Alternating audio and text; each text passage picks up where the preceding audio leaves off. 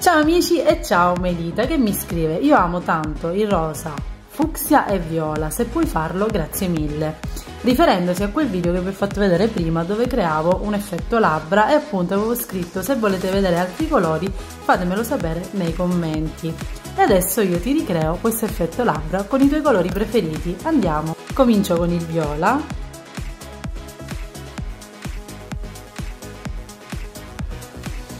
Fucsia infine rosa. Mescoliamo.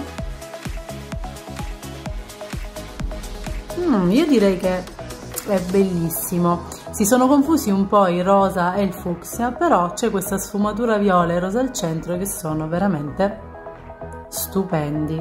Ragazzi, se volete vedere altri colori fatemelo sapere nei commenti. Grazie Melita, un bacio!